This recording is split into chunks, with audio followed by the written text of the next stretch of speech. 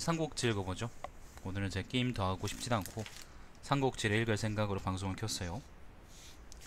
지난번에 여포장홍전 한 명은 의리를 엄청 지키고 한 명은 의리를 안 지키는 사람인데 아무튼 그렇게 상이한 두 사람을 이 진수가 모아놨는데 이번에는 그 그냥 모아놓은 것 같습니다. 이공손 도 사장전입니다. 그러니까 여기서 이 공손은요 공손씨 두 명이라는 의미인데 공손찬하고 공손도를 의미하고요. 그 다음에 도는요 도겸을 의미합니다. 그리고 사장이라는 거는 장양, 장현, 장수, 장로 요렇게 총 하면 몇 명이냐? 일곱 명을 일곱 명의 열전이 여기 다 들어있는 거예요, 여러분. 사실 일곱 명뿐만 아니라 공손도 열전이 아마 공손연도 들어있을 거고 요동의 공손씨들이 살고 있었으니까 그 사람들 얘기가 쭉 들어있을 거라고 생각을 합니다. 자, 그렇습니다. 자, 367쪽이네요. 제 책에서는 일단 공손찬 얘기부터 나옵니다. 자, 공손찬은 자가 백규이고 요서군 영지현 사람이다. 공손찬은 후한에 이제 요 지역에 요 지역에 있던 군벌이었고 나름대로 이제 북방에서는 굉장히 악명이 높은 사람이었어요. 어, 요서군의 문하서좌에 임명되었다. 문하서좌라는 거는 뭐 문서를 베끼는 일하는 말단 관리랍니다. 자, 그는 용모가 당당하고 목소리가 우렁찼는데 후태수가 그 그릇을 알아보고 자기 딸을 그의 아내로 삼도록 하고 탁군 사람 노식에게 보내 공경전을 배우도록 했다. 나중에 공순차는 다시 군의 낮은 벼슬아치가 되었다. 탁군은 욕입니다. 탁이 욕입니다. 예. 사실 이제 노식하고 둘 다 유비한테 그러니까 노식하고 예, 공순천하고 유비가 둘 다 이제 노식한테 배웠다 그러죠. 자 유태수가 유태수가 일이 연저돼 정의로 불려갈 때 공순차는 수레몰이가 되어 그 고된 일을 맡았다. 정의로 불려갔다는 거는 일종의 재판받으러 갔다 그런 얘기예요. 자 유태수가 일남군으로 귀양 갔을 때 공순차는 쌀과 고기를 준비해 봉망산에 올라 선조들에게 제사 지냈는데 그는 술잔을 들어 축원하며 이렇게 말했다. 옛날에 저는 집안의 아들이었지만 지금은 다른 사람의 신하가 되었으니 마땅히 일남군으로 가야 합니다. 일남군에는 풍토병이 만연해 아마도 돌아오지 못할 수 있기 때문에 이곳에서 선조들에게 이별의 말씀을 올립니다. 그가 두 번 전하고 강기하여 일어서니 그때 이때 그의 행동을 본 사람들이 모두 흐느껴 울었다. 일남군이 어디일까? 일남군이 저 아래쪽이 어딘 같은데 모르겠다. 뭐 어딘가 있겠죠, 그죠? 어딘가 있을 겁니다. 넘어가죠. 자, 유태수는 가는 도중에 사면되어 돌아왔다. 공순차는 효렴으로 천거된 낭이 되었으며 요동 속국의 장사로 임명되었다. 공순차는 일찍이 수십 명의 기병을 이끌고 요새를 순시하러 갔다가 수백 명의 선비족 기병을 발견했는데 사람들이 없는 정자로 물러나 부하 기병에게 말했다. 지금 우리가 이들을 뚫고 나가지 못한다면 모두 죽을 것이다. 공손차는 직접 창을 들고 양쪽에 날카로운 칼을 차고 말을 달려 출동해 선비족 기병들을 창으로 수십 명을 찔러 죽이거나 부상을 입혔다. 그와 부하 기병 또한 절반이 목숨을 잃었지만 결국 몸을 빼내올 수 있었다. 선비족은 타격을 입은 후로 두 번 다시 요새에 진입하지 못했다. 공순차는 탁현의 영으로 영전되었다. 자, 광화연관입니다. 양주의 도적이 봉기했을 때 양주라는 건 여기입니다. 양주의 도적이 봉기했을 때 조정에서는 유주의 돌격기병 3천명을 징발했으며 공손찬에게 도독의 권한을 주어 그들을 지휘하도록 했다. 유주라는 곳이 여기, 요 지역을 의미합니다. 군대가 계중까지 갔을 때 계중이라는 것은 뭐 이 근처일 겁니다. 어양 사람 장순이 요소 오환족의 구력거등을 꿰어 반란을 일으켜 계중에서 약탈하고 자칭 장군이라고 하면서 관리와 백성들을 협박해 우북평국과 요소 석국의 여러 상을 공략했는데 모두 그들에게 처참히 무너졌다. 개라는 곳은 요 근처 어디 땅인데 연나라 옛날 연나라 수도입니다. 북평하고 우북평은 이 근처 요소가 여기죠 그죠? 자 공순차는 수하 부대를 이끌고 장순 등을 추격해서 공을 세우고 기도 위로 승진했다. 요소 속국 오한족의 탐지 왕이 부족 사람들을 이끌고 공손찬에게 와서 투항했다. 공손찬은 또 중랑장으로 승진하고 도정 후로 봉해졌으며 진군의 요동 속국에 주둔하며 호족과 5, 6년 동안 공방전을 벌였다. 고려거 등이 청주, 서주, 유주, 기주를 약탈해 이 내주는 피해를 입었지만 공순차는 막아낼 수 없었다. 청주, 청주, 서주, 그 다음에 유주, 기주 이렇게 네 주입니다. 북동쪽의 주들이죠. 조정에서 논의하기를 종정관인 동해군의 유배가는 유배가는 유우입니다. 유우. 동해군은 여기입니다. 동해군. 유우는 이제 황실의 종친으로 나중에 원소가 황제로 세우려고 했던 사람이죠. 자, 동해군의 유우는 도덕과 인의를 갖춘 사람으로서 예전에 유주자사로 있으면서 은혜와 신의를 널리 전하였으므로 오랑캐들조차도 그에게 복종했으니 만일 그에게 진압하고 달래도록 한다면 병사들을 수고롭게 하지 않으면서 그 지역을 안정시킬 수 있을 것이라고 여겼다. 그래서 유를 유주목으로 임명했다. 유는 임용된 후 오랑캐에게 사람을 보내 반역을 했을 경우에 이의 득실을 설명하고 장수의 머리를 보내도록 요구했다. 잠깐만요. 자, 오랑캐들은 유가 왔다는 소식을 듣고 매우 즐거워했으며 각기 통역을 보내 자발적으로 귀순을 요청했다. 공순차는 유우의 공로를 질시했으므로 몰래 사람을 보내 호족의 사자를 죽이도록 했다. 호족은 이 일을 알고 호족이라는 것은 오관족을 의미하겠죠. 오랑캐 이 일을, 이를 알고 새길로 달려와 유우를 만났다. 유우는 상주하여 여러 곳의 주둔병들을 철주시키고 다만 공손찬이 이끄는 보병과 기병 1만 명만 남겨 우북평을 지키도록 했다. 장수는 처자식을 버리고 선비족 땅으로 달려갔지만 식객 왕정에게 살해돼 머리가 유우에게 보내졌으며 왕정은 열후로 봉해졌다. 유우는 공을 세웠으므로 태위로 임명되고 양분 후에 봉해졌다. 마침 그때 동탁이 낙양으로 와서 유우를 대사마로 승진시키고 공손찬을 분무장군으로 임명해 계후로 봉했다. 자, 공손찬이 이제 낙, 아, 참, 동탁이 낙양을 점령했다고 합니다. 자, 관동 지역에서 의료 문제가 일어나자 이거 18로 지역을 의미하죠. 동탁은 황제를 협박해 서쪽으로 수도를 옮기고 유우를 불러 태부로 임명했지만 길이 막혀 명령이 전달되지 못했다. 원소와 한복이 상의하기를 황제가 간신들에게 조종당하고 천하 사람들은 마음의 마음을 귀할 곳이 없는데 유우는 황족으로서 평판이 높고 명성이 있으니 유우를 천자로 추대해야 한다고 생각했다. 그들은 사자를 보내 유우를 만났지만 유우는 끝까지 받아들이지 않았다. 원소등은 유우에게 상서 일을 맡길 테니 당독으로 일을 처리하는 권한을 얻어 관직을 임명하도록 권유했지만 유우는 이 또한 승낙하지 않았으며 원소등과 우호 관계만 유지했다. 유우의 아들 유화는 시중이 되어 장안에 머물고 있었다. 천자는 동도 그러니까 낙양이죠. 동도로 돌아오는 생각으로 유화에게 부탁해 유화에게 동탁으로부터 거짓으로 도망쳐 몰래 무관을 빠져나와 유우를 찾아 군대를 이끌고 맞이하려 나오라고 했다. 유화는 원술의 영지를 지나게 되어 원술에게 천자의 생각을 설명했다. 원술은 유우를 이용해 외부 원조를 받고자 유화를 붙잡아두고 보내지 않았으며 유우의 군대가 도착하면 함께 서쪽으로 갈 것을 약속하라고 유화로 하여금 유우에게 편지를 쓰도록 했다. 유우는 유화의 편지를 받고 수천 기명을 그에게 보내주었다. 공순차는 원술이 두 마음을 품었음을 알고 군대를 파견하지 않으려고 했으며 유우가 군대를 일으키는 것을 제지하려 했으나 유우는 듣지 않았다. 공산차는, 공순차는 이 점을 원술이 듣고 원망할까 두려워서 사촌 동생 공손월에게 기병 수천을 인솔해 원술에게 가서 손을 잡고 비밀리에 원수를 시켜 유화를 잡아 그가 갖고 있던 군사지휘권을 빼앗도록 했다. 이후로 유우와 공손차는 더욱 사이가 벌어지게 되었다.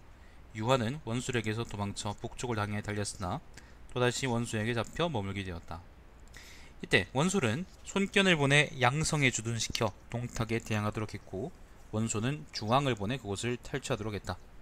원술은 공손월과 손견을 보내 주황을 공격하도록 했, 주황을 공격하도록 했으나 승리하지 못했고 공손월이 날아온 화살에 맞아 죽으니 공순차는 개빡쳐서 말했다. 내 동생이 죽었으니 이 재난은 원소로부터 비롯되었다. 자, 이때부터 바로 공손찬과 원소 간의 예, 개싸움이 시작됩니다. 공손찬이 본거지는 여기고요. 원소의 본거지는 그때 아마 기주를 먹었을 테니까 요 지역일 텐데 이렇게 기주 기주와 유주 사이에 싸움이 크게 벌어지면서 이 지역이 한동안 전란에 휩싸이게 되죠. 자 군대를 내보내 반하에 주둔시키고 원수에게 복수할 준비를 했다. 원수, 원수는 공순찬이 두려웠으므로 자기가 차던 발해 태수의 인수를 공순찬의 사촌 공순범에게 주고 그를 발해군으로 보내 공순찬과 우호관계를 맺으려 했다.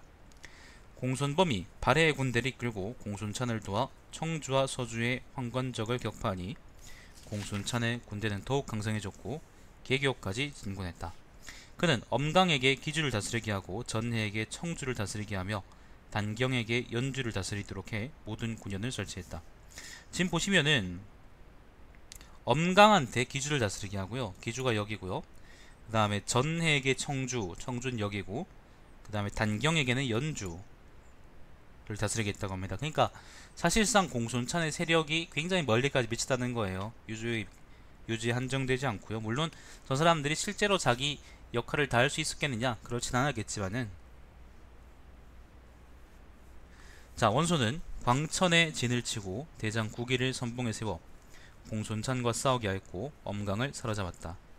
자 공손찬은 패해서 발해까지 달아났고 공손범과 함께 기현으로 돌아와 큰 성 동남쪽에 작은 성을 만들었는데 유가 있는 곳과 가까웠으므로 점차 서로 원한을 품고 바라보게 되었다.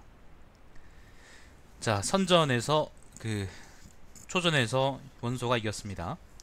유는 공순찬이 난을 일으킬까 두려웠으므로 군대를 움직여 공순찬을 공격했다. 자, 유가 공순찬을 선공했습니다. 그러나 도리어 공순찬에게 패해서 거용으로 도주했다. 공순찬은 거용을 공격해 유를 사로잡았으며 그를 포로로 삼아 기현으로 돌아왔다. 때마침 동탁이 죽었으며 천자는 사자 단훈을 보내 유의 시급을 넓혀주고 6주, 6주를 감독하도록, 감독하도록 하고 공순찬은 전장군으로 승진시키고 역구에 봉했다. 역이라는 것은 맨날 요 근처 땅입니다. 자, 공순찬은 유우가 황제를 칭하려 했다고 무고하고 단훈을 협박해 유우를 참수했다. 공순찬은 단훈을 추천해 유주자서로 임명했다. 공순찬은 교만하고 방자해 다른 사람의 잘못은 기억하면서도 장점은 잊어버려 수많은 사람들이 그에게 죽임을 당했다. 이후에 종사인 어양 사람 선우보와 제주 제주, 기도위, 선우운 등은 유주의 병사들이 끌고 공순찬에게 복수하려고 했다. 연나라 사람 염유는 줄곧 은혜를 베풀고 신뢰를 쌓았으므로 모두들 염유를 추대하여 오한족의 사마로 삼았다. 염유는 오한족과 선비족을 끌어들여 끌어들이고 호족과 한나라 사람 군사를 수만 명 얻어 공순찬이 배치시킨 어양태수 추단과 노북에서 접전을 벌여 크게 무찌르고 추단을 죽였다. 자 공존차는 지금 적이 많습니다. 그 요지역에 있던 유우를 잡아주겠지만은 유우의 잔당들이 공존찬을 적대하고 있고 그리고 원소도 공존찬의 별로 꼴값잖게 보고 있습니다. 지금 적이 굉장히 많은 겁니다 여러분. 자 원소는 또 국의와 유우의 아들 유화를 보내 선호부와 합류한 후 공순찬을 공격하도록 했다. 공순찬은 몇 차례 싸움에서 지더니 역경으로 도망가 소비만 공고히 했다. 역경도배나 저기 여기 요 근처입니다 여러분. 부평 어디일걸요? 어, 그는 열겹의 참호를 파고 참호 뒤로는 아주 높은 흑산을 쌓았는데 높이는 대여섯 장이나 되었으며 위에 두각을 만들었다. 이게 역경로군요. 우주방어. 참호한 정가운데 흑산을 만들었는데 그 높이가 10장이 이르렀으며 자신은 그 위에 몸을 놓고 거기에 300만석의 공부를 쌓아놓았다. 공순찬이 말했다 지금 열전 읽고 있습니다. 과거에 나는 천하의 일은 손가락만 휘두르면 결정할 수 있다고 말했는데 오늘 보니 내가 결정할 수 있는 것은 아무것도 없다. 병사들을 쉬게 하고 온, 농사에 온 힘을 기울여 양식을 축적하는 것이 더 낫겠다. 병법에서 말하기를 백겹의 두 대는 공격할 수 없다고 했다. 지금 나의 두 대는 천겹이고 양식을 다 먹고 나면 천하의 정세를 분명하게 알 수 있을 것이다. 공순차는 이런 방법으로 원소를 지치게 할 생각이었다. 원소가 대장을 보내 공격했지만 몇 년이 되도록 함락시킬 수 없었다. 요게 이제 역경루죠. 우주방어 하는. 자, 건한 4년입니다. 199년입니다. 원소는 전군을 출동시켜 공순찬을 포위했다. 공순찬은 아들을 흑산적에게 보내 권 요청하고 흑산적은 요 지역 어디 있던 이제 산적들입니다. 10만 명이라고 했죠. 흑산적 10만이라 그러죠. 자 자신은 직접 돌격 기병들이 끌고 단숨에 포위망을 뚫고 나와 서남쪽 산악지대를 따라 흑산의 병력을 거둔 다음 기주를 공격해 원수의 후방을 단절시키려고 했다. 정, 장사 관정이 공손찬을 설득해 말했다. 지금 장군의 장사들은 땅이 꺼지듯 완전히 와이됐습니다. 지금 그들이 서로 군기를 유지하는 것은 집에 있는 부모와 자식을 걱정하여 장군을 주인으로 생각하기 때문입니다. 장군이 오랫동안 지킨다면 장차 원소는 자발적으로 군대를 물릴 것입니다. 원소가 자진하여 군대를 물리고 나면 사방의 무리들이 또 모일 것입니다. 만일 장군이 지금 이곳을 버리고 떠난다면 군대는 지켜야만 하는 중요한 잃 것이고 역경은 순식간에 위기에 빠질 것입니다. 장군이 본거지를 잃고 황야로 고독하게 떠들면 또 무슨 큰일을 할 수 있겠습니까? 공순차는 마침내 출동을 그만두었다. 공병이 도착한 후 공순차는 안팎에서 원수를 공격하려고 했다. 그는 사람을 시켜 아들에게 편지를 보내 기일을 정하고 군대가 도착하면 불을 들어 알리도록 했다. 원소의 염탐꾼이 그 편지를 손에 넣어 약속한 기일에 불을 들였다. 공순차는 구원병이 도착했다고 생각하고 병사를 내보내 싸움을 시작했다.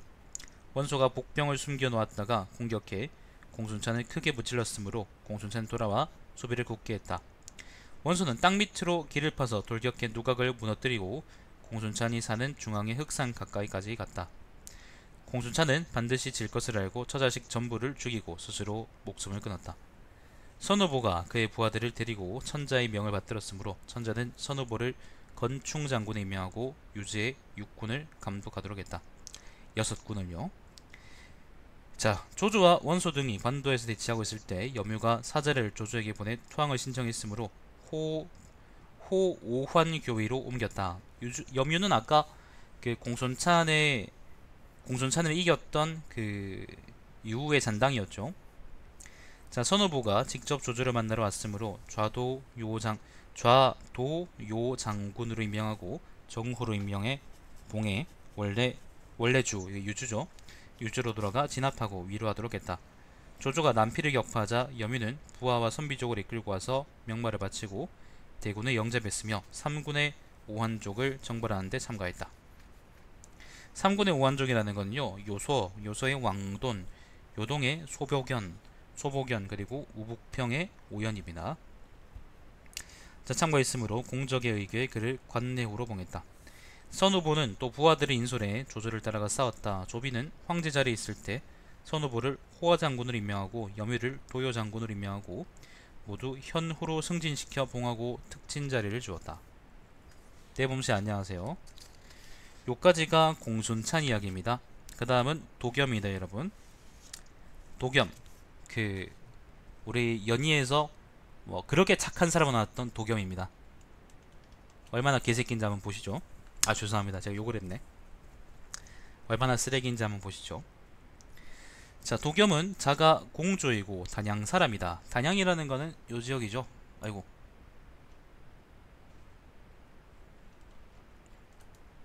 단양이 여기죠. 자 어려서부터 학문을 좋아해서 유생이 되었고 주와 군에서 벼슬 했으며 무제로 천거되어 노현의 영에 임명되었다. 유주자사로, 유주자사로 승진하고 불려가 의랑으로 임명되었고 거기 장군 장원의 군사일에 참여해 서쪽으로 가서 한수를 토벌했다. 이 한수를 토벌했다는 말은 그 한수하고 변장이 일으켰던 반란을 공격했다 그런 말이죠. 장원이 진압했으니까. 자 이때 서주의 황건적이 난을 일으키자 조정에서는 도겸을 서주자사로 삼았다. 그가 황건적을 공격해 쳐부수니 적들이 달아났다. 아 요게 이제 그 시기군요. 요때부터 도겸이 서주에 있게 됐나 보네요. 자 동탁의 난이 일어나자 그 주하군의 병사들이 군대를 일으켰다. 천자는 장안으로 수도를 옮겼고 사방과 연락이 끊어졌다. 그러나 도겸은 사자를 보내 새길로 가서 천자에게 공물을 바쳤으므로 그 공으로 안동장군 서주목으로 승진하고 율량부에 봉해졌다. 당시 서주 백성들은 부유해서 공물을 충분하게 비축했으므로 매우 많은 사람 매우 많은 유민들이 그곳에 몸을 의탁했다. 그러나 도겸은 도의를 위배하고 감정에 따라 행동했다. 광릉 태수였던 나야 사람 조욱은 서주의 명사로 충성스럽고 정직했으나 소홀히 대접했고 조괭 등은 아첨하는 사악한 소인배인데도 가까이하고 임용했다. 따라서 형벌과 정치는 형평을 잃었고 선량한 사람이 대부분 박해를 받았기 때문에 형제는 점점 혼란스러웠다. 합의 사람 궐서는 스스로 천자라 일컬었는데 도겸은 처음에 그와 동맹을 맺어 약탈을 일삼았다. 후에 도겸은 궐선을 죽이고 그의 군대를 곧아들였다. 자 싹수가 보입니다 여러분. 초평 4년 193년입니다. 조조는 도겸을 정벌하고 10개 성을 공격해요. 12여 개 성을 공격해 취했으며 팽성에서 도겸과 크게 싸웠다. 팽성은 여기입니다. 조조가 연주에 있다가 서주를 공격한 거죠. 도겸의 군대는 패한 후 도주했는데 죽은 자의 수가 수만이나 되었다. 어, 사수는 시체로 막혀 사수라는 건 요 지역에 있는 강입니다. 중요한 강입니다. 사수는 시체로 막혀 물조차 흐르지 않았다. 도겸은 물러나 담성을 지켰다. 조조는 양식이 부족했으므로 병사들을 이끌고 돌아왔다. 이게 막 양식이 부족한 게 아니고요. 그 후방에서 서주를 치고 있는데 여포가 아마 뒤통수를 때린 걸 거예요. 지금 왜 양식이 부족했다고 적혔는지 모르겠네.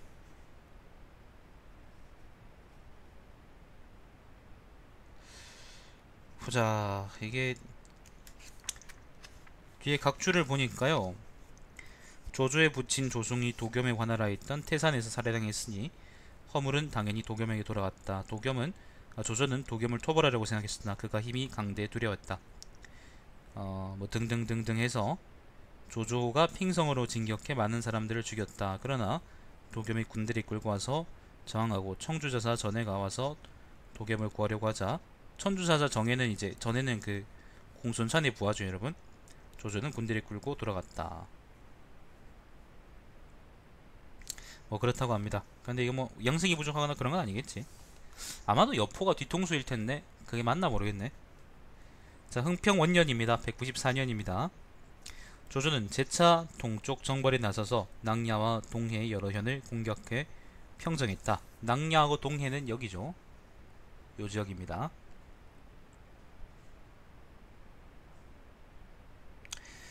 도겸은 두려워하며 단양으로 도망가려고 했다. 그때 마침 장막이 조조를 배반하고 옆으로 맞아들였다. 아 요게 요게 그거군요.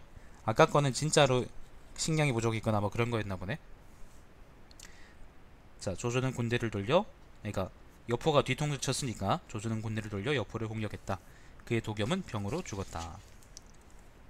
여기 끝이네? 여기 끝이야? 도겸 이야기는 그냥 끝이네요 이게. 그렇게 썩 정치인으로서 뛰어난 사람은 아니었던 것 같습니다. 자 이번에는 장양 이야기입니다. 장양 상당 태수 장양 이야기입니다. 상당구는 여기죠.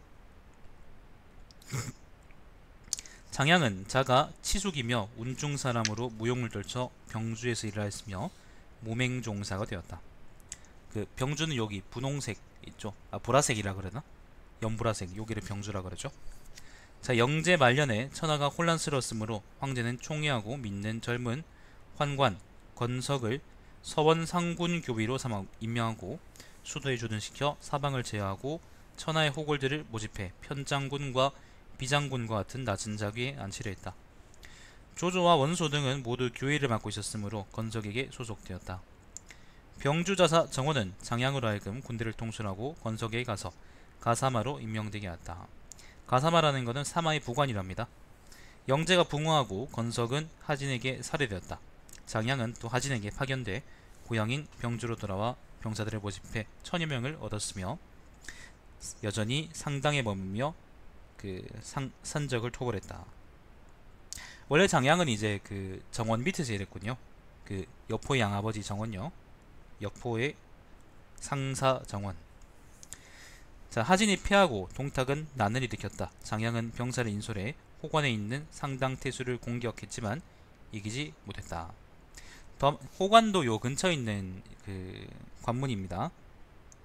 다만 많은 현을 공격해 공략해 수천의 병사를 모았다.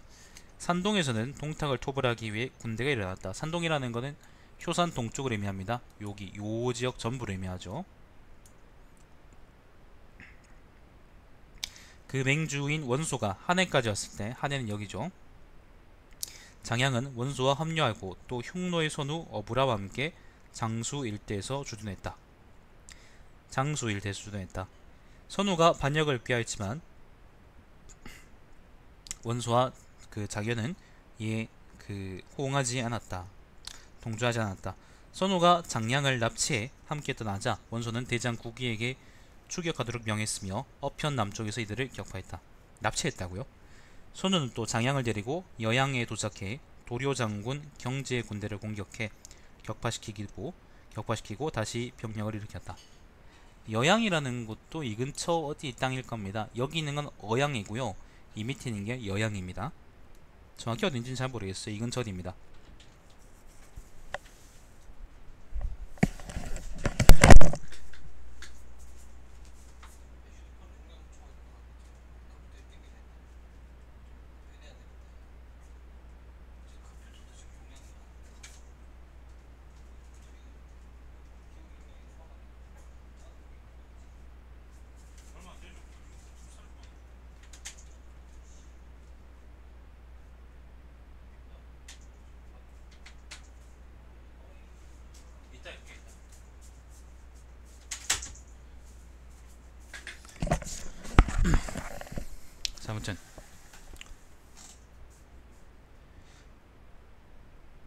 자, 동탁은 장양을 건의 장군과 하늘 태수로 임명했다. 천자가 하동이 이르렀을 때 하동이라는 거는 그 여기를 의미하는데 아마 동탁에서 이제 탈출해서 그 낙양을 오는 길에 뭐 그런 말이겠죠.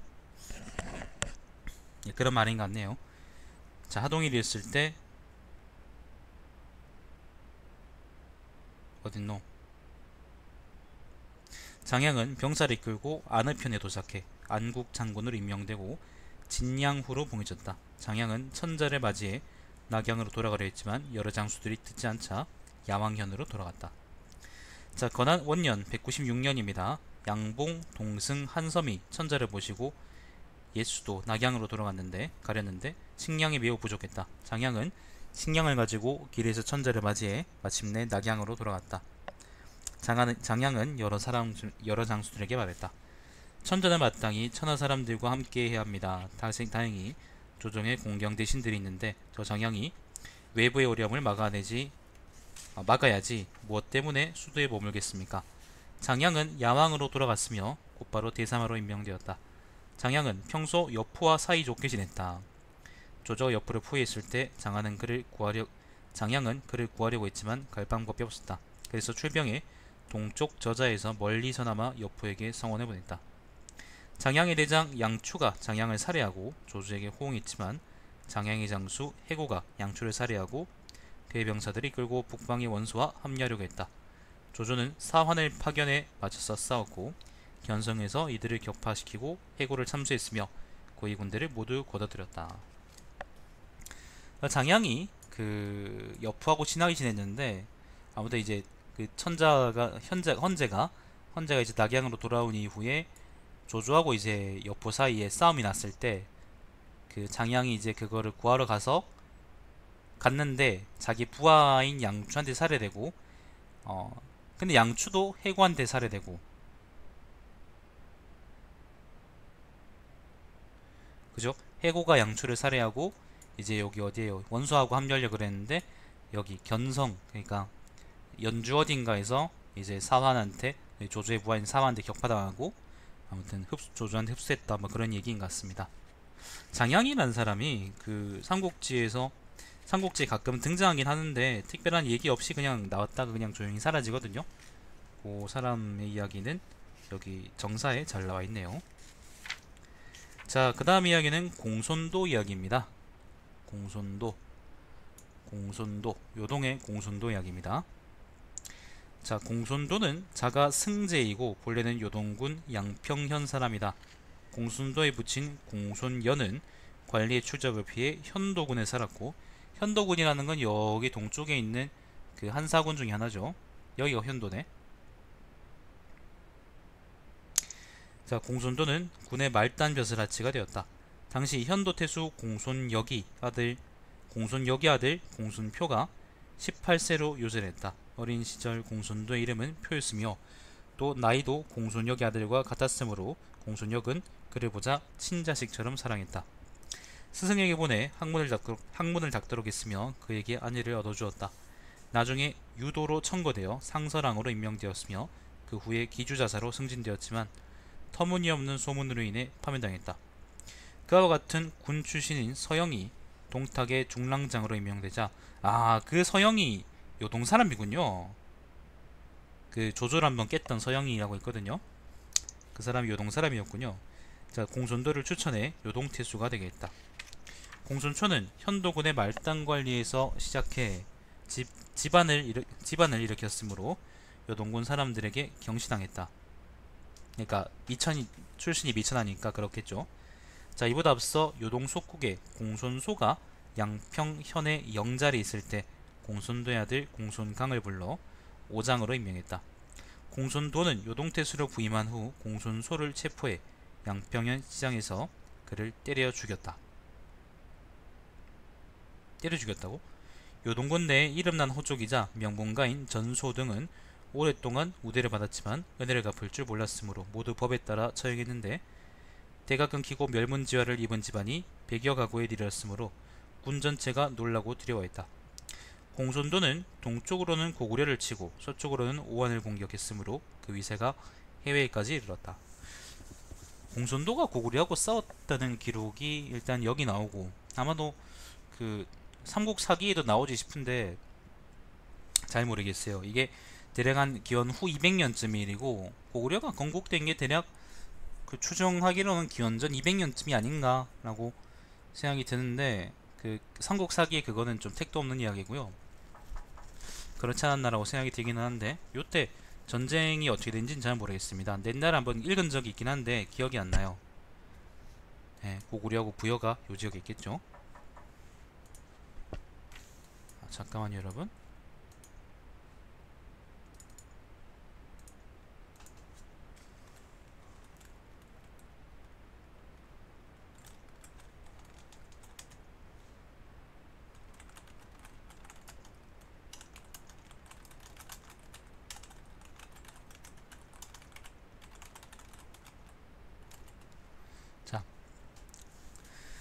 아무튼 그렇답니다. 한번 찾아볼까? 백- 이게 190년 이전의 기사인데 공손도하고 고구려 사이의 전쟁이 전쟁이 아마 사람들이 분명히 적어놨을 거예요. 그죠? 네, 분명히 적어놨을 건데 특별하게 또 나와있진 않네.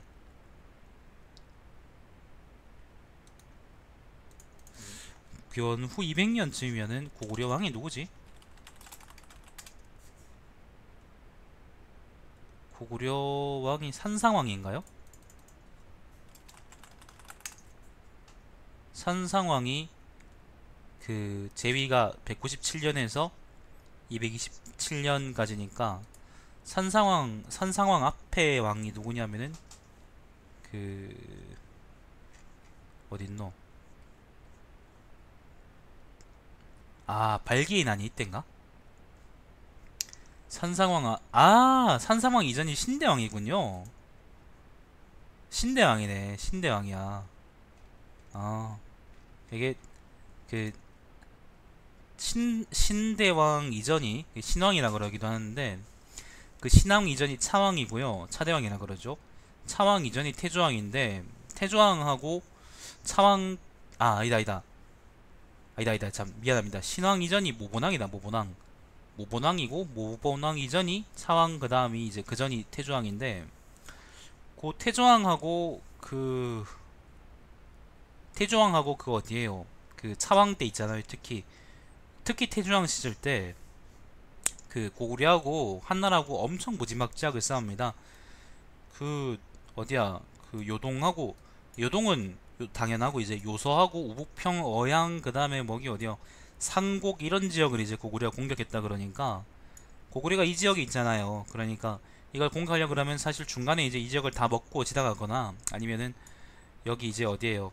그 북방 민족들을 통해서 들어가거나 그렇게 해야 되는데 그걸 생각하면은 후한 시기 때는 오히려 이제 또 요 고구려가 많이 약해지지 않나 생각도 들기도 하고 또 미스테리한 기사가 있는 게 고구려가 설마 그렇게 강했다고 할지라도 요소에다가 성을 쌓았다는 기사가 있어요. 태조왕 때 요소에다가 이제 몇 개 성을 쌓았다는 기사가 있는데 근데 요소라는 곳이 보통 이 지역을 얘기하는 거거든요 보통 이 지역을 얘기하는 건데 성을 쌓았다는 거는 단순하게 약탈하거나 공격했다는 의미가 아니고 그 지역을 어떻게 어떤 의미에서든 이제 점거했다는 의미인데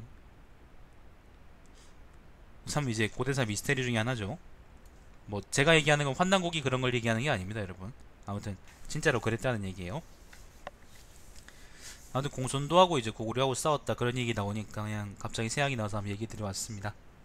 요때는 아직 이제 그 현, 현토군 그 다음에 낙랑군 요런 군들이 아직 망하지 않았을 때지 싶은데 근데 아마 원래 세력은 그러니까 세력 자체는 굉장히 많이 이제 축소돼 가지고 거의 뭐 중국의 이제 따까리 수준으로 넘어갔을 때였을 겁니다. 크게 크게 막 그 걱정할 만한 그런 정도의 크기는 아니었을 거예요. 자, 아무튼 어, 초평 원년 190년입니다. 공손도는 중원이 혼란스러운 것을 보- 알고 자신과 친한 관원 유의와 양의 등에게 말했다. 한왕조의 운명이 끝나려 하므로 나는 여러분과 함께 왕업을 도모하기로 했습니다. 당시 양평현의 열리 사단에게 사단에 커다란 돌이 나타났는데 길이가 한 장쯤 되고 그 밑에는 작은 돌 세 개가 다리 역할을 하고 있다. 어떤 사람이 공손도에게 말했다. 이것은 한나라 선제의 관석산의 상스러운 조짐이고 또 마을 이름은 당신 부친 그 공손년이죠.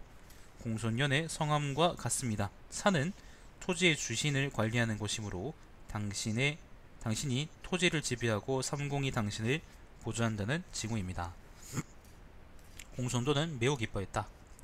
원래 한해 태수였던 이민은 요동군의 유명 인사로서 공손도가 하는 일을 싫어했지만 그에게 해를 입을까 두려워 가족들을 데리고 바다로 들어가 살았다. 섬으로 섬에 살았다 그런 말이겠죠.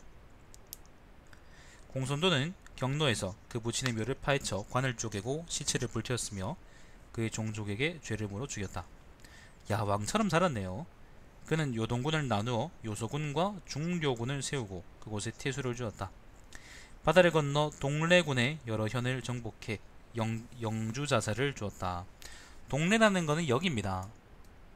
이 근처일 텐데 여기를 동래라 그럴 텐데 사실 이게 그 요동하고 산동이 생각보다 가깝거든요. 그래서 여기를 정복하고 이제 뭔가 태수를 주기로 했다면 그런 얘기 같아요.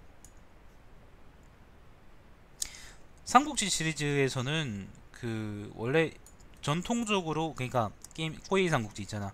그 시리즈에서는 전통적으로 요동 땅이 보통 양평으로 표현되는데 굉장히 고립된 지역입니다. 사실 이제 교통도 반드시 이제 요직을 거쳐야지 다른 지역을 나올 수 있기도 하는데 근데 몇 개 시리즈에서는 요게 요동이 다른 지역하고 연결돼 있어요. 특히 좀 입지전적인 게 이제 세븐이 그렇거든요. 세븐에서는 여기하고도 연결돼 있고 여기 남쪽에 이제 5월 지방하고도 연결돼 있습니다. 그래서 그 요동이도 항상 이제 뒤치기를 맞을 수 있는 후방이 있는 곳으로 이제 격화되게 되죠.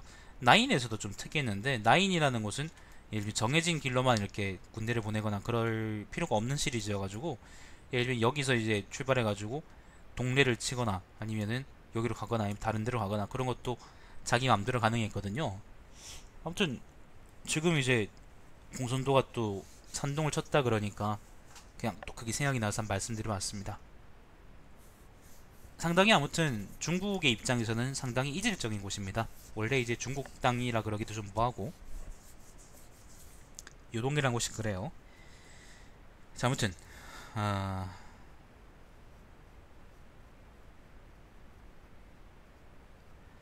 자 그는 자신을 요동 후 평주목으로 봉하고 아 스스로 그렇게 한 거야? 부친 공소년을 건의후로 봉했다.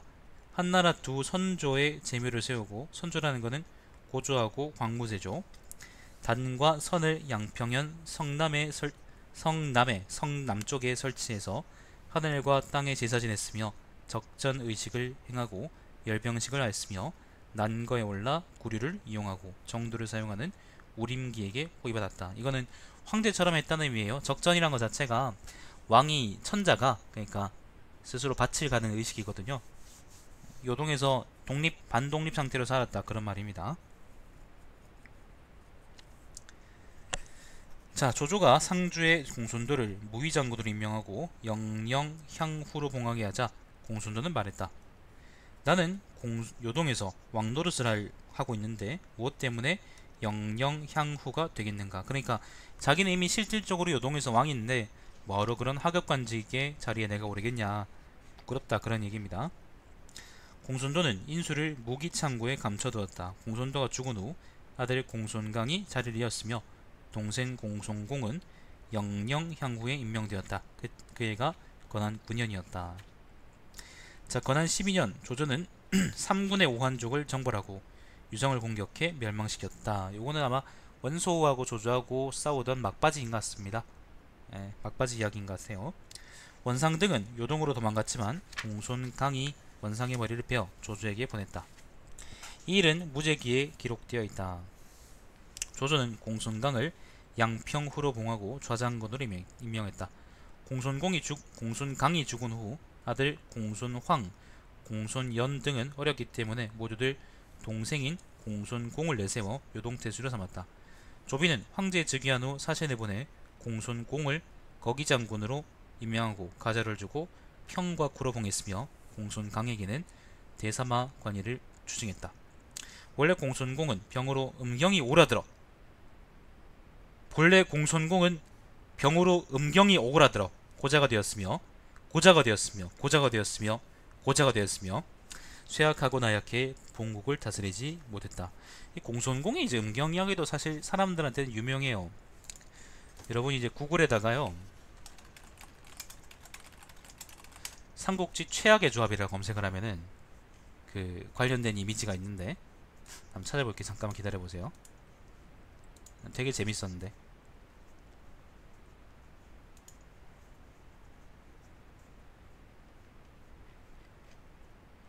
아 여기 있군요. 이게 뭐야 도대체? 한번 보여드리겠습니다 여러분. 그 보는 분이 있는지 모르겠는데 보여드리겠습니다. 아 죄송합니다 이거. 방송 제목 안 바꿨구나.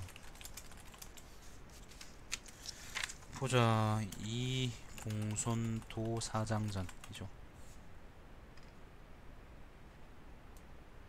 보는 분이 있어요 지금? 시청하는 분이 계신가요? 네, 인스티즈에서 찾았는데 삼국지 최악의 조합이라는 이런 멋진 그림이 있습니다. 그 그냥 이거는 정사하고 별개로 그냥 한번 보는 거라고 생각하시면 됩니다. 왜 근데 안 바뀌냐 이게?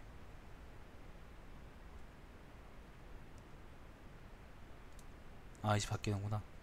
네, 첫 번째는 손젤입니다. 그 우리가 이제 쥐새끼라고 맨날 욕하는 손권 자체가 문제다. 유비 신체 구조는 이제 팔 길이가 굉장히 길었다 그러죠. 그 다음에 귀도 크고 유비가 아두를 던졌다라는 건 연희에만 나오는 말이긴 한데 아무튼 예. 그 다음에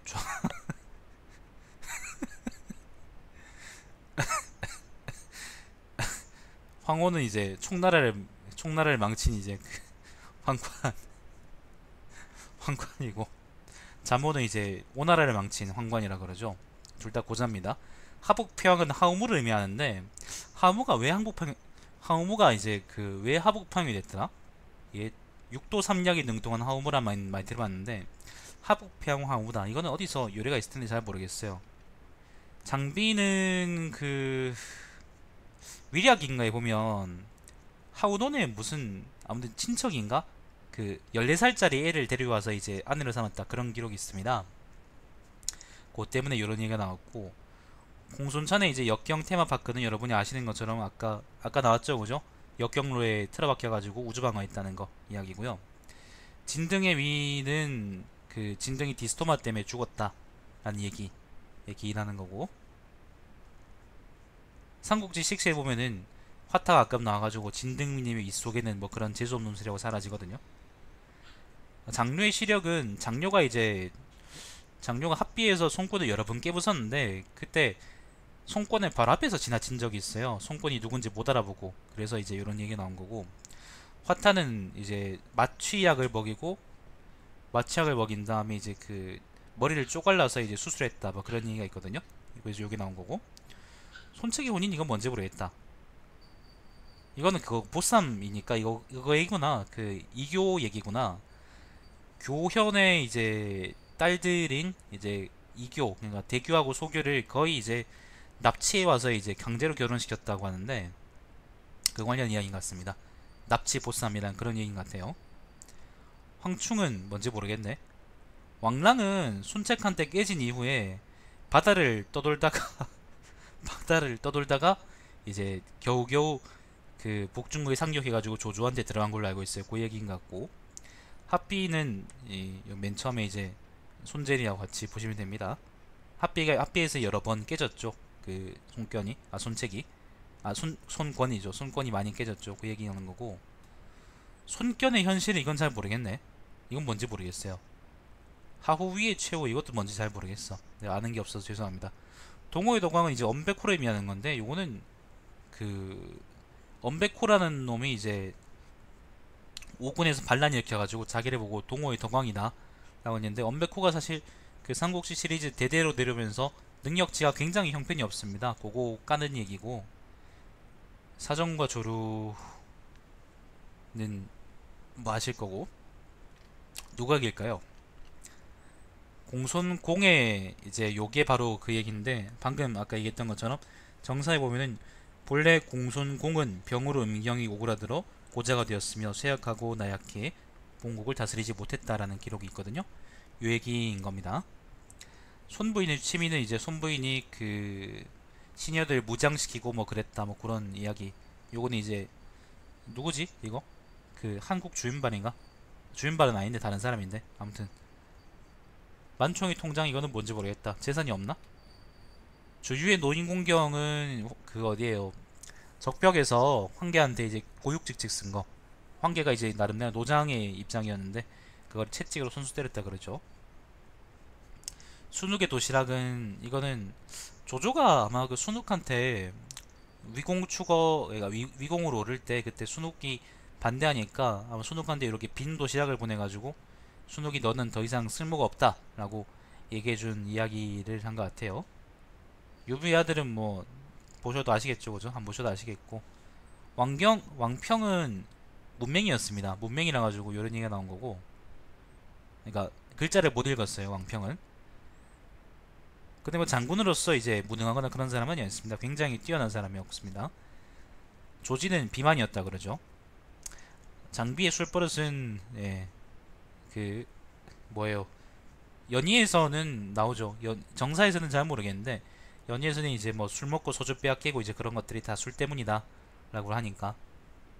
사실 근데 연희에서는 또 재밌는 기록이 있는 게 그 장비가 이제 어디에요? 그 하변인가? 하변인가에서 장압을 한번 깨, 개작살릴 때 연희에서는 장비가 이제 술을 가지고 장압을 속여가지고 이겼다라고 얘기가 나오죠. 위안의 도발 퍼스는 뭔지 모르겠네. 학수의 도굴. 이것도 뭔지 모르겠어 미축의 동생 이거는 미방인데 미방이 이제 관우 조지고 오나라 행복한 가지고 얘기했나? 그것 때문에 미축이 죽을 때까지 한나라 조정에서 이제 되게 부끄러워했어야 됐다고 하더라고요. 원술의 유언은 꿀물 꿀물을 좀 주세요라는 건데 저번에 이제 동이원 유전을 보시면은 원술이 죽을 때 이제 꿀물 얘기했다는 거는 아마 연희 창작일 것이다라고 제가 말씀드렸었죠. 제가 건담의 레이저는 이거는 삼국지 자체하고 관련이 없습니다. 그 진상공 무쌍 시리즈에서 진상공 무쌍 시리즈에서 제갈을 제갈량이 항상 이제 레이저를 쏘거든요. 특수 기술로. 그래서 보통 제갈 건담이라 부릅니다. 아까 조진 그 얘기는 뭐냐면은 조진이 비만이었다고 하긴 하는데 그 어, 사마 연희 말고 정사에서 그 제갈량의 복벌을 이제 굉장히 훌륭하게 막아낸 거는 조진하고 곽해 같은 그런 사람들이었습니다. 그래서 장군으로서의 어떤 무능한 장군으로서 무능하거나 그런 사람은 전혀 아니었어요. 아들을 이제 개같이 줘서 그렇지.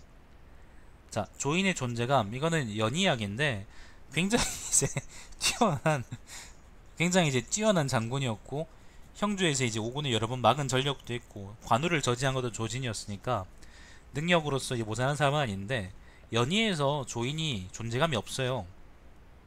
연희 연희에 보면은 조진이 조인이 도대체 뭐 하는 사람인지 모를 정도로 아무튼 나오진 않습니다. 그래서 이런 얘기가 있는 것 같고 하후연의 변명 이건 뭐더라? 뭔지 모르겠네. 위연과 양이 서로 이제 둘이 찌질하게 싸우다가 제갈량 죽은 다음에 네, 둘다 이제 죽었죠. 양이는 그때 죽진 않았나? 양이는 죽지 않고 그냥 귀양 갔나? 조홍의 탐욕은 이거는 조홍이 돈 욕심이 되게 심했다고 합니다. 고 얘기하는 거예요. 돈 욕심이 좀 많이 심했다고 합니다. 예, 3개 F4 그 능력치 총합이 제일 낮은 건 아니고 아무튼 그 네. 여러 가지 여러 가지 조합들이 있습니다. 한 여기는 이제 한현, 엄백호, 하우무, 양송을 뽑아놨는데 이거 말고도 뭐 황호, 유선, 자몬 이런 식으로 엮기도 합니다. F4들은 많습니다. 최악의 장군들이죠. 전략 쌍국지 장료가 이렇게 죽나? 반장의 허영심은 이건 잘 뭔지 모르겠어요. 내가 어디서 이것도 읽어봤는데 뭔지 기억이 안 나요. 이것도 뭔지 모르겠고 이것도 뭔지 모르겠어요. 간장게장이 나오네. 아 맞아 맞아 백카파린 맞아 맞아 F4 말고 백카파린이라는 게 있어. 그러니까 그 전문 용어를 잘 써주셨는데 능력치 총합이 100이 안 되는 사람들이 있어요. 예를 들면 엄백호는 그런 사람이 아닌데 한현의 경우에는 이거 다 합쳐도 100 안 되거든요. 그 백가파린이라고 이제 유명한 사람들이 있습니다. 예를 들면 양송 이런 사람도 백가파린이지. 소 초계 수송로는 뭐 여러분이 아실 거고 그 어, 촉지방으로 들어가는 길에 몇 가지가 있는데 그 중에 이제 한중 쪽으로 나가는 길 그러니까 질령산맥을 넘어가야 되는 길이 제일 험합니다. 옛날 가장 이제 오래된 길이기도 하지만 가장 험한 길인데 그걸 뚫고 제 갈량이 이제 그 북벌을 갔죠.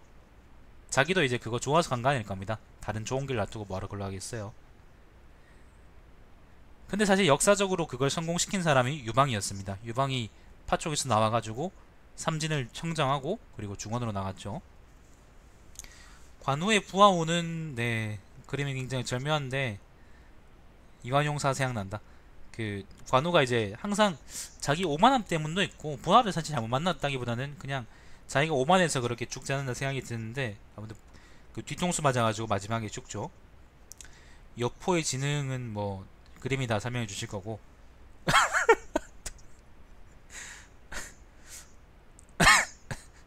요거는 뭐 여러분 아시는 것처럼 문어 대가리죠 그죠? 예. 오나라의 의리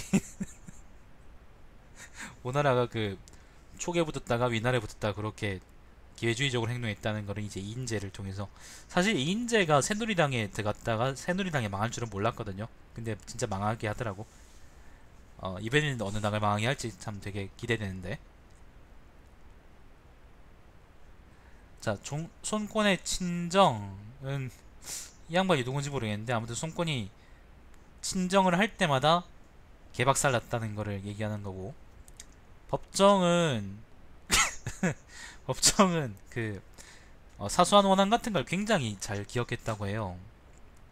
그러니까 예를 들어 누구한테 원한을 사거나 그랬으면은 항상 그거를 담아놨다가 반드시 복수했다 그러거든요. 그 얘기하는 거고. 하하는 여장하는 취미가 있었다 그럽니다. 근데 그런 놈이 뭐하고 그런 놈이 뭐하러 이제 노노 같은데 줄을 달았는지 잘 모르겠습니다. 저는 사람들이 그리고 한 줄을 왜 좋아하는지도 모르겠어요. 요거는 하우돈의 군공. 하우돈은 군공이 거의 없는 사람입니다. 뛰어난 장군, 무난한 장군으로 요청, 예, 무난한 장군으로 생각되긴 하지만은 실제로는 여, 나중에 정사 읽을 때 나오겠지만은 군 군제보다는 이제 내정 행정을 본 행정을 보는데 이제 재능이 뛰어났던 사람인 것으로 생각이 돼요. 한덕 일가의 비극은 그 조은이 이제 조은한테 한덕 하고 그 내 아들이 한꺼번에 몰살당한 사건을 얘기하는 건데 이게 연예인 나오는데 이게 정사에도 나오는 건가? 그건 잘 모르겠어요. 백인천 감독이요? 이 사람? 자 장비의 명장면 이거는 잘 뭔지 모르겠습니다. 아마 하변에서 그 장합 깨부순 거 얘기하는 것 같은데 정확한 잘 모르겠어요. 정욱의 정욱의 비상신형은 그 조조가 이제 여포한테 뒤통수 맞았을 때 정욱이 그 아현 그다음 정, 정욱하고 수능 그 전욱하고 이제 정욱하고 수, 그 순욱 같은 사람들이 아 그다음에 동아 견 이런 현들을 지켰었었는데 그때 식량이 부족했나? 그때가 아니었나? 나중이었나? 아무튼 조조가 굉장히 식량이 부족할 때가 있었는데 그때 정욱이 이제 사람을 죽여가지고 그걸로 식량을 조달했다 뭐 그런 얘기가 있습니다. 그때부터 조조가 정욱을 믿지 않았다라고 하더라고요. 근데 정확하긴 잘 모르겠습니다. 나중에 다시 또 정상이 나오겠죠. 아직 저는 읽어본 적이 없어요. 뭐 조홍은 여러분 아실 거고 가시일과 애국심 요거는 어 뭐냐면은 사진은 사진은 유라이트로 썼는데 그가어 제일 위에가 그 사람입니다. 가 가규입니다. 가규. 가규는 이제 한 나라를 팔아서 예, 한 나라를 이제 조조한테 팔았다라는 얘기를 듣는 사람이고 가규의 아들인 가충은 그 위나라를 진나라한테 팔았다는 얘기를 듣는 간신배입니다. 그리고 가충의 딸인 가남풍은 진나라를 멸망시켰다라고 평가받는 어, 황후죠. 아무튼 그래서 가시 일가가 충성심 없기로 유명한 아무튼 그런 집안으로 이제 예, 유명한 그럽니다. 그래서 이제 유라이트 사제 부분 같은데 되게 적절한 것 같아요. 유라이트들 하는 꼬라지 보면은 그죠? 자 종료와 귀신의 관계 종료와 귀신하고 종료가 귀접했다 그런 얘기를 들어본 적이 있는 것 같은데 잘 기억이 안 나네요. 일단 귀신이 싼 장소의 현관문은 잘 모르겠습니다. 이거는 제갈량은 이제 건강이 되게 나빴다고 하죠. 그 자기 폐렴으로 폐렴인가 폐결핵으로 죽지 않았나 생각이 드는데 아무튼 김태원이 이제 건강이 굉장히 안 좋은 사람의 대명사기 때문에 뽑아놓은 것 같아요. 아 장판판가? 장비에게? 홍진호가 거의 진 게임인데 아 버티는 거라고? 그래서 그런가? 장판파라고 이게? 여튼 뭐 음. 하우상이 네크로필리아 이건 하우상이 하우상이 이게 이게 정확히 뭐더라? 그 하우상이 좋아하는 여자가 있었는데 그 여자를 누가 죽여버렸다든가? 근데 이제 하우상이 그 여자를 못 잊어가지고 식차하고 그 했다라고 가든가? 아무튼 그런 이야기가 있어요. 정확히 내 기억이 안 나. 아무튼 하우상한테 그런 이야기가 있습니다. 기담은 되게 명작 영화였는데 장소의 직위 항상 2등 예형의 독설은 뭐 예형이 누군지 아시죠 그죠? 조비의 형제는 조비가 그 조식이나 조창 같은 자기 형제들을 굉장히 많이 경계했습니다. 경계했습니다. 그 조조가 이제 워낙 아들들을 잘 뒀기 때문에 워낙 아들들을 잘 뒀기 때문에 그 능력 그러니까 조비가 태자로 임명되고 나서도 그 자리가 굉장히 많이 흔들렸었거든요. 그것 때문에 어, 즉위 초반에는 예, 견제하려고 많이 이제 수를 썼었죠. 육소는 그 이궁의 변이라고 해서 손화하고 손패라는 예, 손권의 후계자 싸움에 말려들어가지고 개빡쳐서 죽었는데 그 얘기하는 겁니다. 동탁은 굉장히 비만이었다 그러죠. 이건 비옥 집단 얘기하는 걸 겁니다. 비옥 집단 얘기하는 거고. 어, 자우국 계책의 성공 확률은 이제 0이구나. 위원이 이제 그 어, 위원이 어떻게 이걸 했냐 요건 자국 계책이라는 위원이 내는 계책인데 다시 봐도 재밌네. 그 어, 이게 요거는 지도를 좀 보여드릴까요? 잠깐만요. 지도를 보여주는 게 좋을 것 같은데 잠깐 기다려 보세요.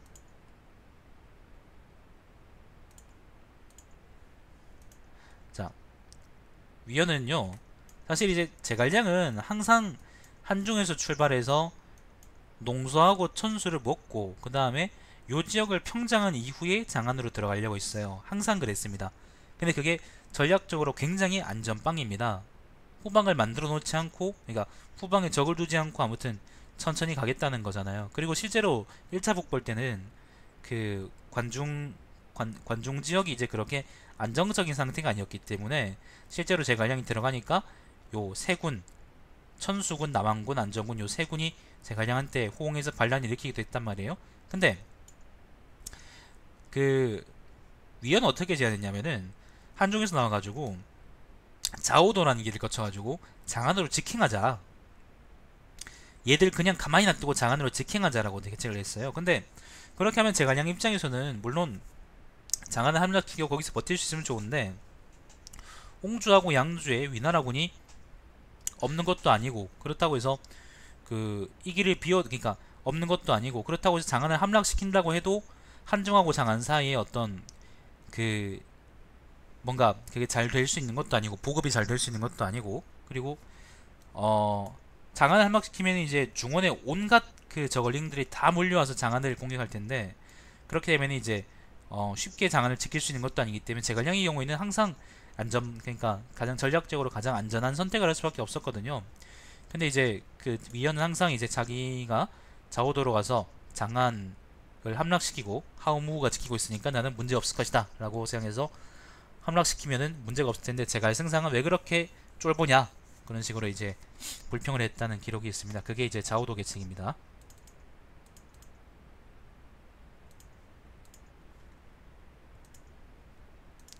자, 그래서 수렴 확- 성공 확률은 0이다 라는 게 요 그림이고요.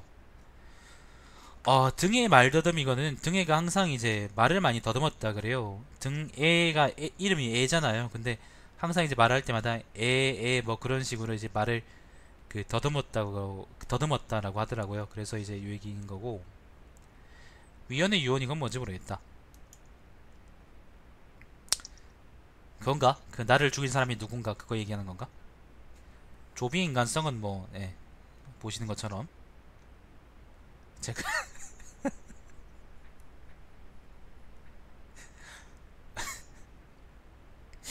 제가 이거는 얼굴이 많이 길어서 얼굴이 되게 많이 길었다고 하던데.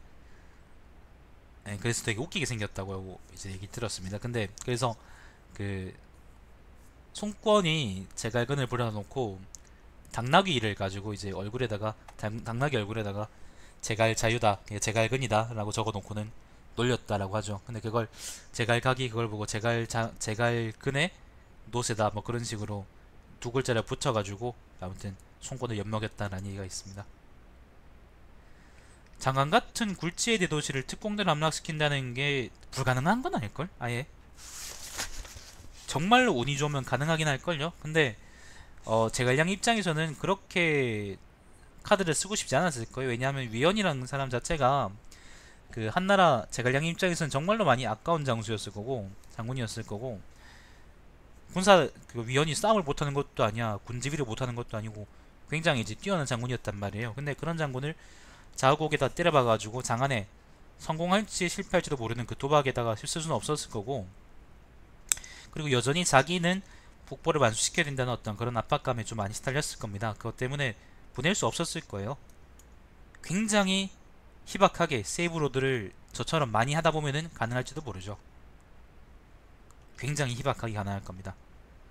공룡의 독서 시간 이건 뭔지 잘 모르겠습니다. 이게 뭐였더라? 그 요기는 이제 아랍에다가 이제 팔레스타인 지구에다가 백린탄으로 포격하는 이스라엘군 이야기, 이스라엘군 사진인데 이 사람들은 아랍인들이고 공룡이 그 뭐더라? 자기 성이 포위돼가지고 경각에 다다랐는데도 책을 읽었다. 뭐 그런 얘기가 있던가?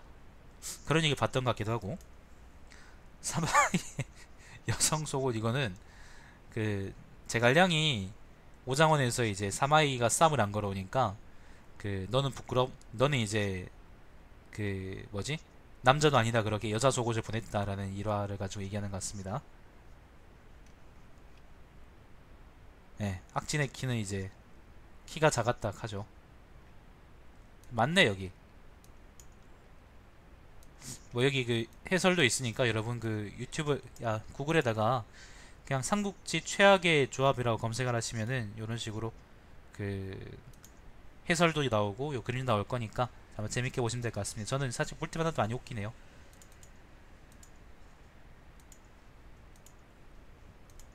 자 다시 원래대로 돌아가죠. 원래 걸로 돌아가죠.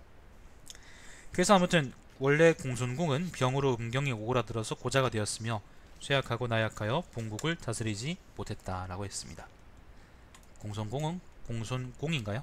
예, 공손공은 고자다 라는 말이 여기서 나온 거죠. 자, 태화 2년 228년입니다. 공손연이 공손공을 협박해 자리를 빼앗았다. 조이는 즉위하여 공손연에게 양열 장군과 여동태수를 제소했다. 공손연은 남쪽으로 사자를 보내 손권과 연락을 취하였으며 예물의 왕래가 끊이지 않았다. 손권은 장미와 호환 등을 사자로 하여 금과 옷 같은 진귀한 보물을 보내고 공손연을 연왕으로 옹립했다. 공소녀는 손권이 너무 먼 곳에 있어 의지할 수 없을까 걱정스럽고 또 재물이 탐났으므로 사자를 파견하도록 유인하고는 장미와 화환 등을 참수해 그 머리를 위나라로 보냈다. 결과 조에는 그 결과 조에는 공소년을 대사마로 임명하고 낙랑공으로 봉하며 부절을 주어 이전과 같이 군수의 지위를 겸하도록 했다. 사자가 도착한 후 공소년은 무장한 병사들을 배치해 진을 만들고 나와서 사자와 회견했다. 또 여러 차례 국내 국내의 빈객들에게 사악한 말을 서슴지 않았다. 참 이게 참 그 뭐라 그럴까 이게 되게 속 좁은 이야기인데 공손녀는 이 손권 손 손권하고 이제 통해서 이제 아무튼 의지해 보려 고 그랬는데 너무 멀잖아요. 그러니까 의지할 수 없을 의지할 수 없긴 한데 근데 또 재물은 받아먹고 싶은 거야. 그러니까 손권한테 이제 적당히 말을 잘해서 사자를 파견해서 재물을 받고는 그리고 거기서 사자를 죽여서 다시 위나라한테 보냈다 목을. 그래서 결국 돈은 받고 그건 했다 밑장은 뺐다 그런 얘기를 하는 겁니다. 말도 안 되는 얘기죠 사실. 자 경초원년 237년입니다. 천자는 유주자사 관구검 등에게 천자의 옥체를 찍은 문서를 갖고 와서 공소년을 응징하도록 했다 공소년은 군대를 출동시켜 요수에서 관구검 맞이해 교전했다 상황이 불리하자 관구검은 돌아왔다 공소년 스스로 연왕이라고 하고 백관과 담당 관리를 설치했다 사자에게 부절을 주어 보내 선비의 선우에게 옥체를 주고 변방 백성들을 지배하도록 봉하고 선비족으로 꿰어 선비족을 꿰어 북방 위나라의 북방을 침략했다. 자 관구검이 공선의 투벌을 갖다가 오히려 지고 왔습니다. 경초 2년 238년 봄 조정에서는 태위 사마이를 보내 공소년을 토벌하도록 했다. 6월입니다. 요거는 이제 그 누구예요? 제갈량이 죽은 이후죠, 그죠? 잠깐만요.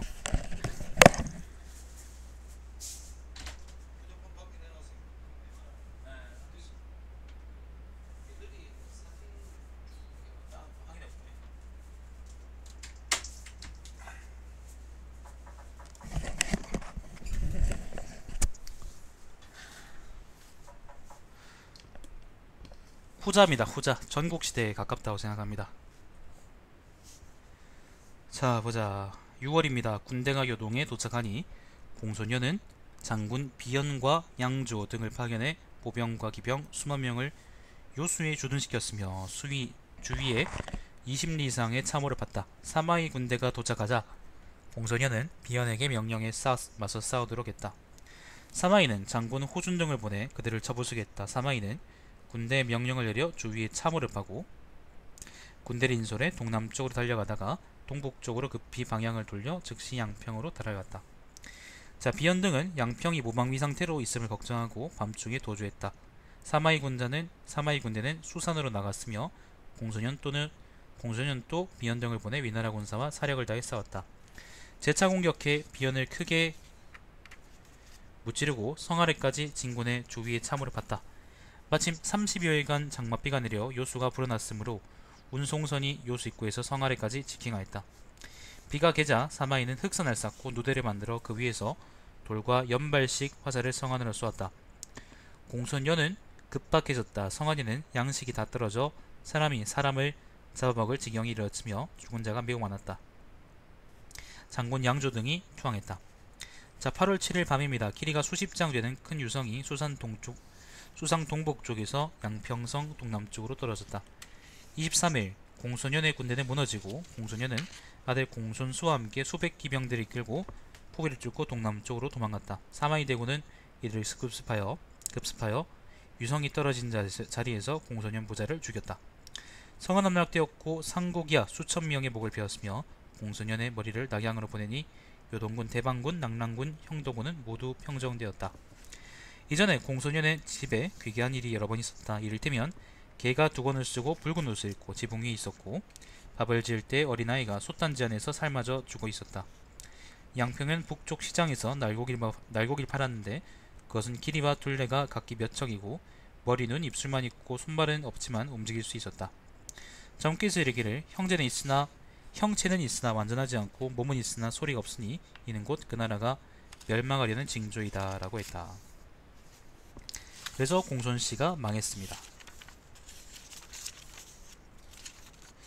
자 얼마 안 남았습니다 계속 읽어보죠 그럼 잠시만요 그 다음 얘기는 장년 이야기입니다.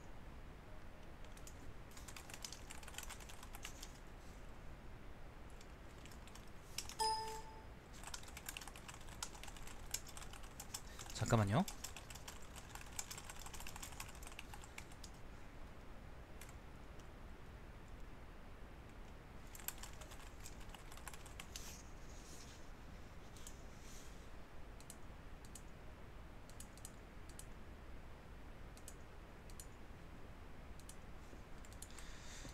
자, 장현 이야기입니다. 이번엔 흑산적 장현 이야기죠.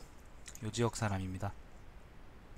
자, 장현은 상산군 진정현 사람이며 상산은 여기죠. 상산 여기입니다. 여기. 항산이라 그러죠. 잠깐만요.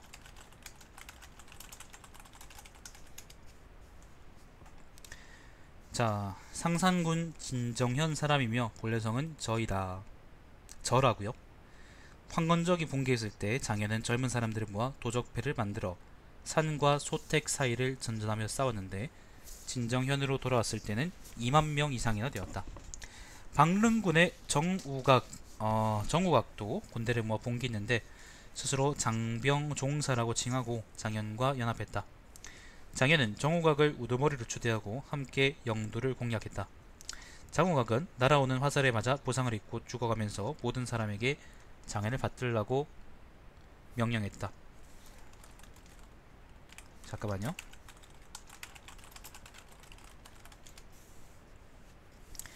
반드시 장현을 우두머리로 해라. 장우각, 장우각이 죽은 후 우리는 장현을 우두머리로 모셨으며 이 때문에 장씨로 개명하게 되었다. 아, 장씨를 장우각을 따른 거군요. 자, 장현은 모든 보통 사람보다 훨씬 더 표독하고 민첩했기 때문에 군중에서는 그를 비연이라고 불렀다. 아, 삼국지 6에 보면은 비연인가 나오는데 장현이라 안 나오고 비연이라고 나오는데 그게 이건가? 옛날 시리즈 보면은 장현이라고 안 나옵니다. 비연이라고 나오지. 자, 이후 그의 그 병사와 말해수는 점점 많아졌다. 상산, 조군, 중산, 상당, 한해 여러 산과 계곡의 도적들과도 서로 연락했고 그곳의 작은 우르머리인 손경, 왕당 등이 각자 부하들을 끌고 장현을 따랐으므로 군사는 100만에 달했고 흑산이라 불렀다. 그러니까 요 지역 전부가 장현의 세력이 미친다라는 얘기입니다.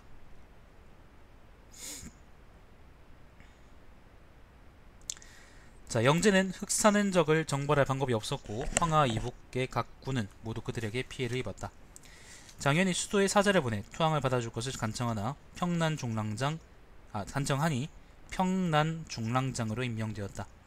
이후 동탁이 천재를 장안으로 옮긴 일로 옮긴 일로 천하의 의룡 군대가 여러 차례 봉기하자 장현은 부하들을 인솔해 천하의 호골들과 연합했다.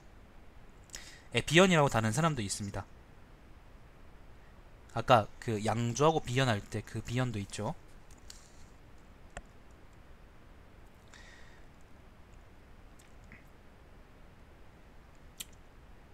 내가 착각한 수도 있고요.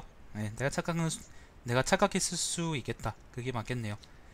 자 이후에 문소와 공순찬이 그 기주 땅을 차지하려고 할 때 다툴 때 장현은 장군 두장 등을 파견해 공순찬을 도와 원수와 싸우겠다. 요건 아까 역경의 이제 테마파크 이야기하는 거죠. 자 두장이 원수에게 피하면서 군다, 군사 들이 흩어지게 되었다. 조조가 기주를 평정할 때 장현은 사자를 보내 관군의 힘을 더하고 더해주려고 했으므로 평북 장군에 임명되었다. 또 그의 부대를 이끌고 허편에 이르자 안국 정후로 봉해지고 시급 500호를 받았다. 장현이 죽은 후 아들 장방이 자계를 이었다. 장방이 죽은 후 아들 장용이 자계를 이었다. 예 맞습니다. 공손찬이 아니고 공손연 공손연 부하죠. 비연 비연 아무튼 장현은 그렇게 뭐 그 뭐 편하게 죽었네요. 네, 편하게 죽었네. 자 이번엔 장수 이야기입니다. 사실 뭐 그냥 성인 같으니까 묶어놓은 것 같습니다. 자 장수는 무위군 조려현사, 조려현 사람으로 표기장군 장제의 족자이다. 어, 조카 그런 말입니다. 그 무위라는 거는 요 지역이죠. 저 양주 사람입니다. 자 변장과 양수가 한 변상과 한수가 양주에서 난을 일으켰을 때 금성 사람 국승은 조려현의 우두머리 유준을 습격해 살해했다. 장수는 현의 벼슬 아치로 있었으나 몰래 국승을 암살하니 조령온 사람들은 그의 행위를 의롭다고 평가했다. 그는 젊은 사람들을 모아 마을의 호걸이 되었다.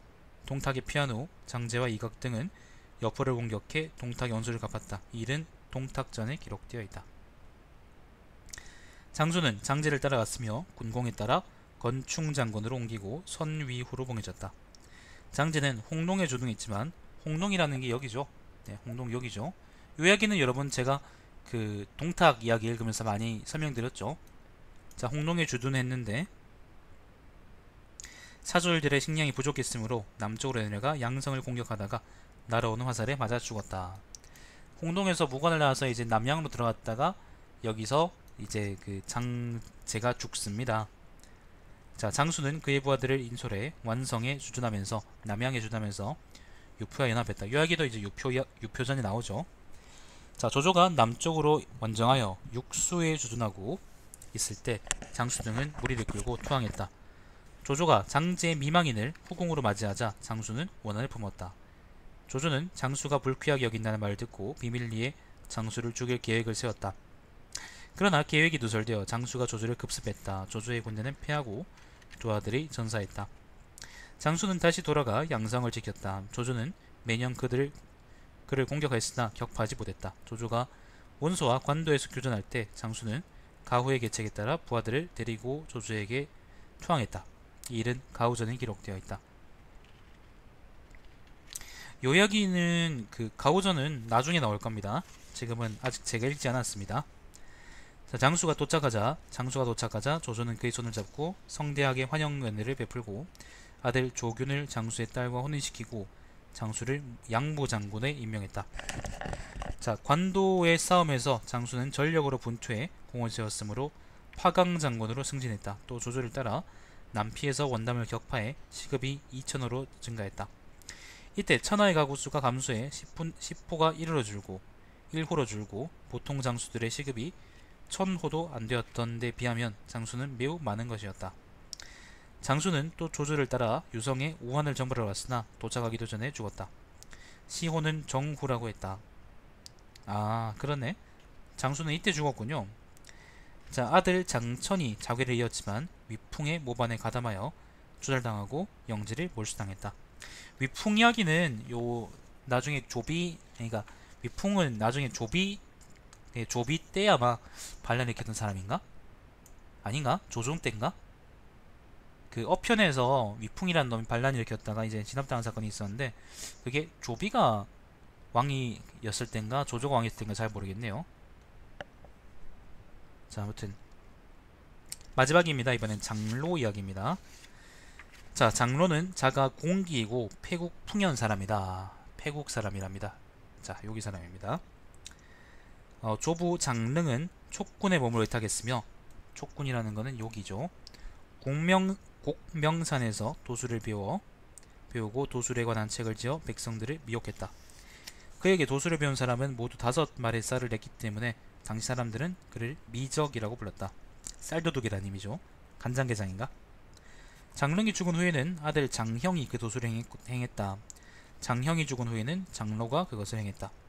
익주목 유원은 장로를 독의 사마에 임명하고 별부 사마 장수에게 군대를 이끌고 가서 한중태수 소고를 공격하게 했다. 장로는 장수를 습격해 죽이고 그의 군대를 빼앗았다. 유원이 죽은 후 아들 유장이 그를 대신해서 익주목이 되었으나 장로가 그에게 복종하지 않았으므로 장로의 어머니와 그 식구들을 모두 죽였다. 여기서부터 장로하고 유장은 원수지간이 됩니다. 그좀 설명해 드리면은 일단 장로 자체는 원래 이제 패국 사람인데 그 아버지가 이제 촉군으로 와서 도수를 배우고 유원을 섬겼어요. 근데 유원이 여기 한중 땅에 있는 이제 원래 태수였던 소고라는 사람을 공격하러 보냈는데 장수라는 사람한테 군대를 보내가지고 근데 그 장 누구죠? 장형인가요? 아 장로군요. 장로가 그 장수를 죽이고는 아무튼 한중 땅을 빼앗고 그 자리에 그냥 눌러 앉아버린 거죠.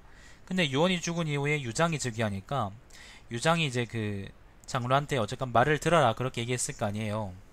근데 그 말을 안 들으니까 원래 촉당에 남아있던 유의 장로의 식솔들을 전부 다 유장이 죽어버렸다 그런 얘기입니다. 그래서 둘이 사이는 그렇게 좋지 않게 됩니다. 자 장로는 장로는 한중을 점령해 요술로 백성들의 그들을 백성들의 백성들을 이끌고 그릇 이끌고 잘못 이끌고 그런 말이죠. 스스로 사군이라고 칭했다. 도수를 익히는 사람들에게는 처음에는 귀조를이라 부르고 본격적으로 도수를 받아 의심스럽거나 미혹되는 것이 없어진 후에는 죄주라고 불렀다. 죄주들은 각각 부하들을 인솔했는데 그 수가 많으면 치두 대죄주라 불렀다. 죄주는 백성들에게 성실과 신의를 지키며 다른 사람과 다른 사람을 속이지 말라고 가르치고 병이 있으면 스스로 자기와 씨를 자수하도록 했다. 이러한 것은 거의 황건적과 유사하다. 죄주들은 모두 돈을 받지 않는 의사를 지었는데 의사라는 것은 의로운 집이라는 의미입니다. 그것은 지금의 정전과 유사하다. 정전이라는 것은 여관입니다. 역참의 여관이요. 자, 또쌀과 고기를 어, 의사 안에 걸어 의사 안에 걸어두어 지나가는 사람이 배가 찰 때까지 먹도록 했다. 되게 좋은 곳이구나. 만일 필요 이상으로 가질 경우에는 요술로 그를 징벌했다. 법령을 위반한 사람은 세 번까지는 너그럽게 용서하지만 그후 다시 범하면 징벌했다. 장리를 두지 않았고 모두 죄주가 다스렸다. 한적과 오랑캐는 이것이 편리하다고 생각하고 좋아했다. 장로는 파군과 한중군에서 거의 30년간 온거했다. 요 지역이 파군입니다. 요지 파군인데 뭐 이 지역이 전부 다 장로의 세력군이었을 리는 없고 아마도 요 지역하고 요 근처 지역이 장로가 먹었던 지역이 아닐까 생각이 드네요.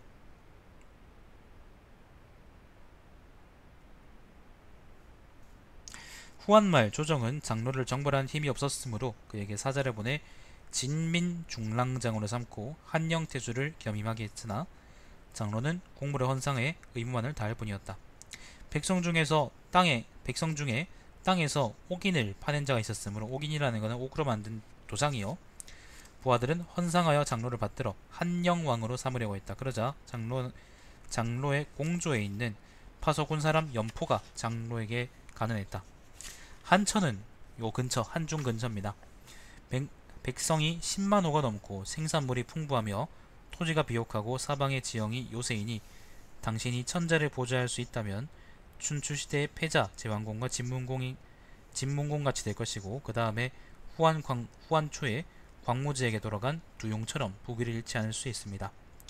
현재 황제의 뜻에 따라 관원을 설치해서 권한을 주고 형벌을 단행하기에 충분한 세력을 갖고 있으니 왕으로 칭하는 것을 서두를 필요가 없습니다. 잠시 왕으로 부르지 않아 재앙과 횡익을 초래하지 않기를 희망합니다. 왕으로 칭한다는 것은 어그로를 끈다는 거니까요. 그 주변에서 다 이제 공격 받게 될 이제 명분이 생기는 거니까. 장로는 연포의 말을 따랐다. 한수와 마초가 난을 일으켰을 때 어, 관서 주민 수만 명이 좌우국으로부터 장로에게 달려왔다.